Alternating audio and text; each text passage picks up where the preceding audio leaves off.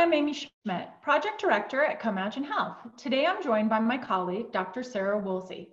We're coming to you from our virtual home offices in Nevada and Utah to talk about infection prevention, what it is, how it's evolving, and how it helps to keep our communities and some of our most vulnerable citizens safe during the COVID-19 pandemic. Dr. Woolsey is Comagine Health's Medical Director for Quality Improvement, a board certified family medicine physician with 20 years experience caring for underserved populations. She was appointed to the American Academy of Family Medicine's Commission on Quality and Practice in 2018. Sarah, thank you so much for joining me today. Nice to see you, Amy, and nice to talk about this. Let's talk about the topic that's on everyone's minds these days how to prevent infections like COVID 19 in the first place. How is COVID changing the field of infection prevention? Well, you know, first, what is infection prevention? You know, infection prevention is an evidence based approach designed to prevent harm to healthcare workers and patients. Um, so it's evidence based, but it's also going to be tailored to the setting. What do I think has changed? I think it has shined a huge light on the gaps in training, in the availability of the right protective equipment, of the practicality of preventing a virus that we don't even know we have and we're already spreading it. So it's really, really having us up our game in all settings. Can you briefly describe what makes for a good infection prevention program? Like, what are some of the key factors that one needs to consider in any setting?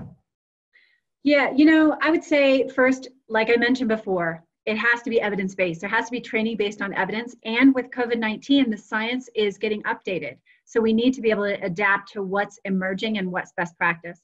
We also want to have what we teach be understandable in the setting. We need it to be something that's reproducible, that people can do again and again, that we can watch and measure. And if it's not going well, improve it right there with the input of the frontline folks so that it works for them in the constraints that they're dealing with. Um, the other thing I would say is that if something's going really well, we get it to be done over and over again. We reinforce that. Um, sometimes it takes one on one training to really make it work. At Comagine, our work often focuses on the most vulnerable members of our communities. Who's most at risk when outbreaks such as COVID occurs, and how does infection prevention help fill those gaps? Yeah, um, so let's see. I would say settings where folks work or live close together. You know, we use the word congregate settings, but it's really where, where are people close together? Are they able to follow some of the basic practices like hand washing? That could be a challenge for folks that may be bedbound in a long term care facility. Or if someone has a memory problem, they can't remember to follow a simple step that's going to keep them safe. So I would say those groups are a big, big challenge. A second one is any place um, that there's aerosolized generating procedures. So COVID-19 is, is, is a respiratory, it's easily spread through the air.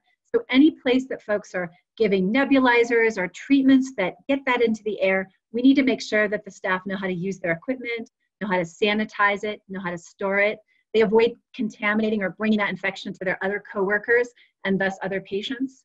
And then the last piece I would say, Amy, for um, important groups are folks that just haven't done this much, like an employer that's trying to figure out how to make sure everybody washes their hands or that people are six feet apart. People who don't know what they don't know, I would say that is a mm-hmm. group that I'd want to focus on and really hone their skills and teach them some, some new things.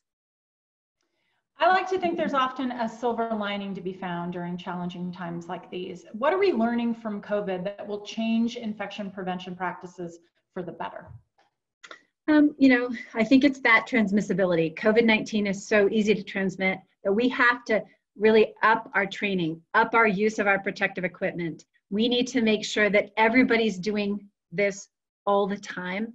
And I think that's going to help when winter comes and the flu comes, when we have another infection that we you know we will battle in the future people have really paid attention to what makes the most difference in how we do this in our various settings and how do we keep people safe so i think it's really focusing attention that will give us future gain as we um, we deal with whatever the next infection is Thanks, Sarah, for your insights today and your optimism about the future. And remember, everyone, the real secret to infection prevention wash your hands a lot. Thanks, Amy. Right.